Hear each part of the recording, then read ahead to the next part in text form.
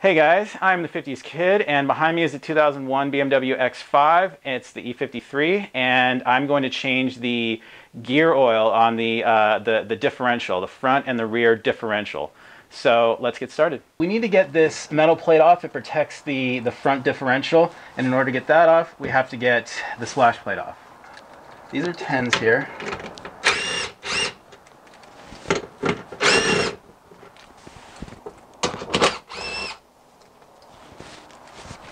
Tens back here.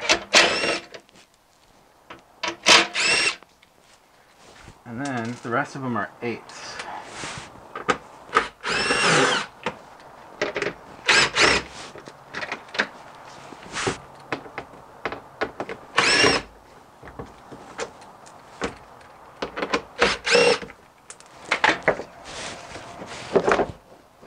There we go there are six 16 millimeter bolts holding this uh, this skid plate on and there are nuts on the top of them and you've got to hold them with a 16 millimeter wrench. So I've already got my wrench in position back here. So I'm gonna use my impact to get free.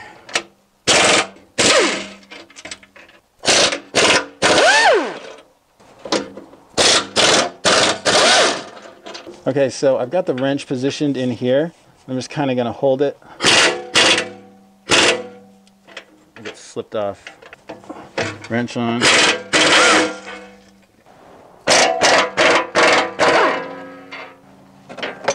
And this one's a little, this one should be a little easier. Just right here. Now the plate's gonna fall on me when I take this one off.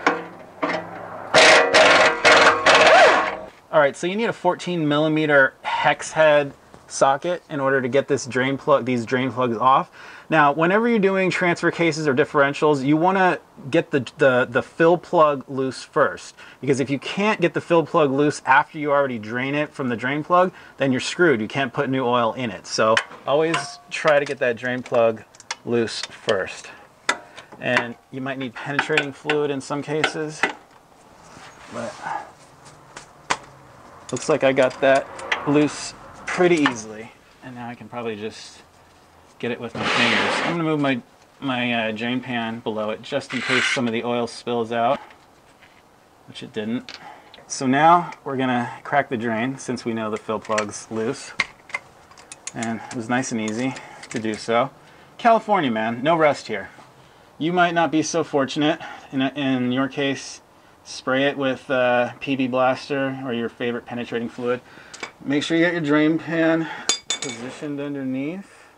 Make sure that you've just driven the car. You want hot fluid because hot fluid will flow faster. Since it is hot, I'm going to do this quickly and get out of the way quickly because I don't really like hot fluid. I just want to point something out. The There's a washer that's actually kind of stuck on right here. The, uh, the one uh, on the fill plug actually came off when I was uh, just wiping the area earlier. This one's stuck on. I can tell that it's stuck on. I'm just going to leave it there.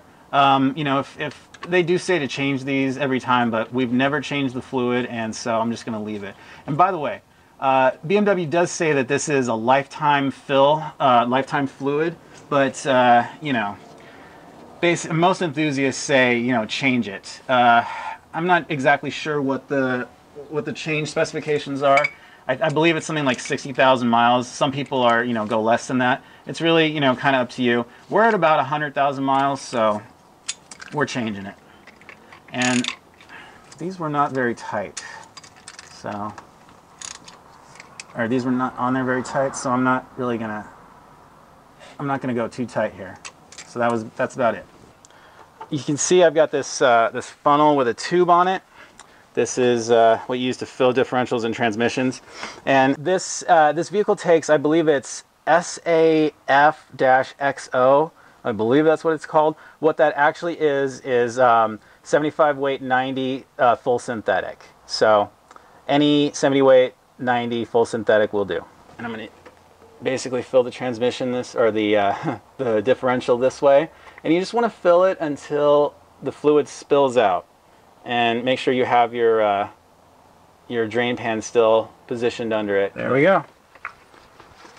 Took almost a full bottle a full uh, full quart.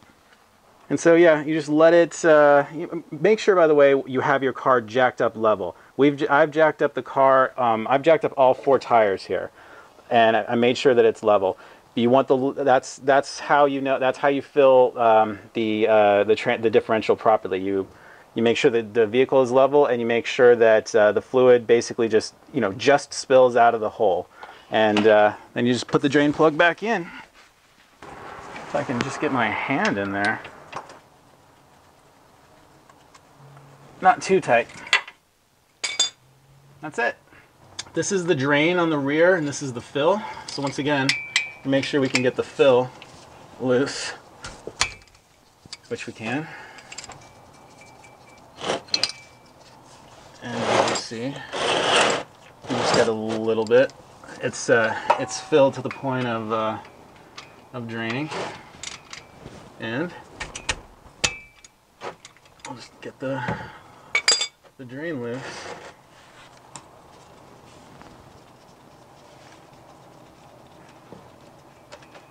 And minutes. And you would think I would have more experience with that by now.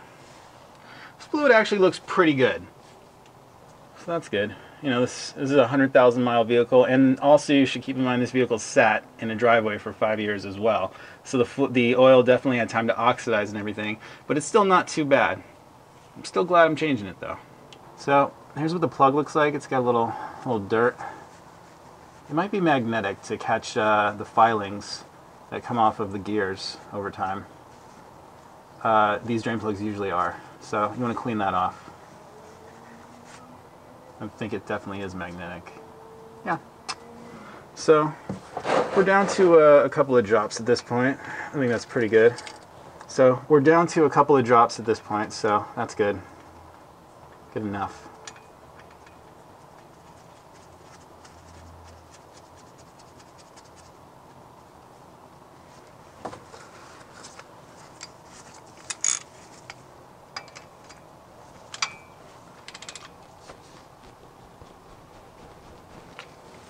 Okay, so we're gonna start filling it with a full bottle.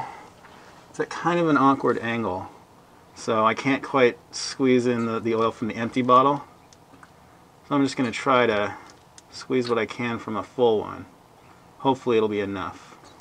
So realistically, we might need to rig up a little bit of uh, a little bit of a MacGyver solution because my funnel with the uh, with the little tube on the bottom on the end of it is not quite long enough to reach in and and have the funnel be in a high situation. As we can see, we've kind of got it positioned up here, right here. So I'm gonna I'm gonna try to get a hose to uh, to extend this a little a little ways. Not sure I have one big enough though, but we'll see what we got. All right, so you can see that we've I've, I've got some uh, spare 3 8 inch uh, just hose, and I've got it run all the way back here to the tire well, and I'm gonna just shove the end of my bottle in there and fill it that way. I'm just going to be looking for when it spills out. As you can see, we've now got it full. I needed to, we needed to run and get another bottle, and I used maybe about 200 milliliters from it. And uh, now it's uh, now it's so full that it's draining out. And I'll put the drain plug back in and uh, finish it up.